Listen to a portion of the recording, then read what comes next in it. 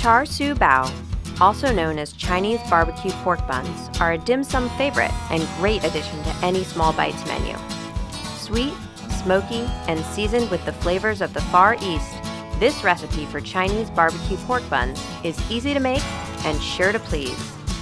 We'll start by making our char siu marinade. In a large mixing bowl, combine salt, honey, hoisin, soy, sesame oil, vegetable oil, garlic finely minced, fresh ginger finely minced, Chinese cooking wine or dry sherry, Chinese five spice powder, ginger powder, Korean chili flakes, and optional red food coloring.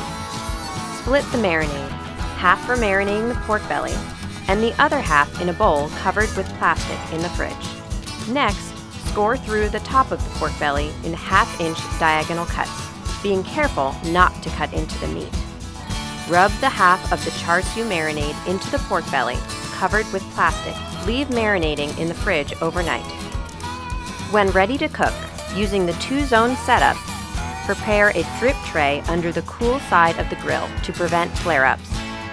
Heat the grill to 250 degrees Fahrenheit. Place the pork belly, fat and skin side up on the cool zone of the grill. Add a few chunks of fruit wood for smoke, placing the lid vents over the meat side to drive the smoke over the bellies and cook for one hour. Spritz the pork with ginger beer or apple juice every 30 minutes or so for the next one and a half hours for a total of two and a half hours of cooking. Tear off two sheets of heavy-duty aluminum foil. Remove the pork belly from the smoker or grill and place it fat side up on the length of the foil. Spritz one more time and wrap tightly in foil.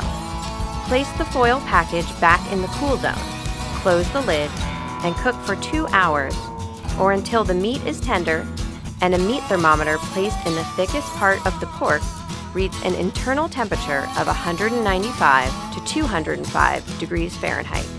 Move the pork belly carefully to the cool side of the grill. Brush with marinade and cook with the lid on for about 30 minutes or until the glaze is nicely set and the belly is a deep mahogany color. When you are ready to serve, transfer the pork belly to a cutting board and pull, slice, or cube the meat.